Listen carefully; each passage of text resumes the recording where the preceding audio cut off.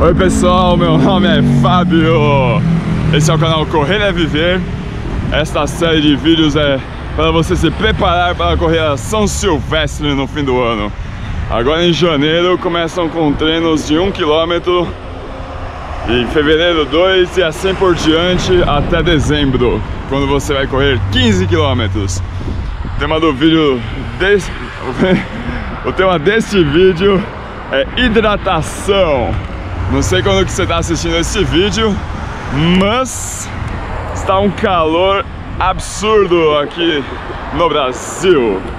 Então, hidratação é importantíssimo. Apesar de que já fiz vídeos sobre correr no frio.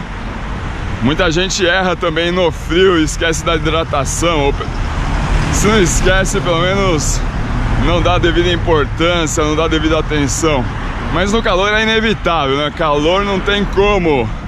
Calor você tem que se hidratar mais ainda, porque você transpira mais, né? Então você perde líquidos, sais minerais, eletrólitos, perde um monte de coisa aí que precisa repor, ok? Então preste atenção na sua hidratação, é um assunto vasto aí. É importante hidratar antes, hidratar durante o exercício, se for um exercício mais longo. Se for um exercício curto, às vezes não precisa se hidratar durante, ok?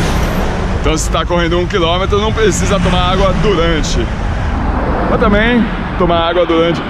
Às vezes tem gente que fica com a boca muito seca, né? Principalmente se o exercício é de intensidade alta, se a pessoa não está acostumado tudo bem, dá um golinho bem pequenininho só para molhar a boca. É mais pela sensação do que pela necessidade. E quando acabar também hidratar bem. É... Para aplicação desta série, né? A gente ainda está numa fase que num um quilômetro não vai perder muita, muito suor aí.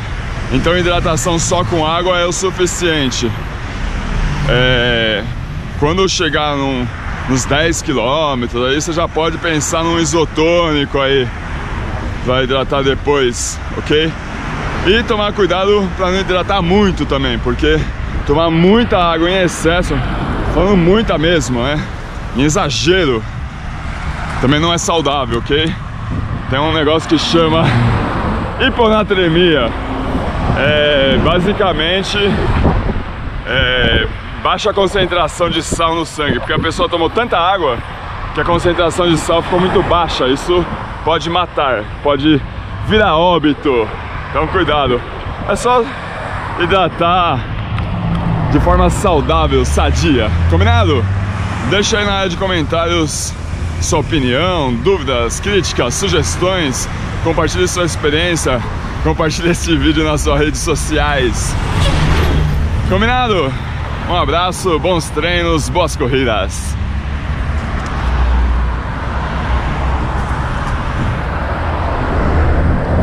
Falou!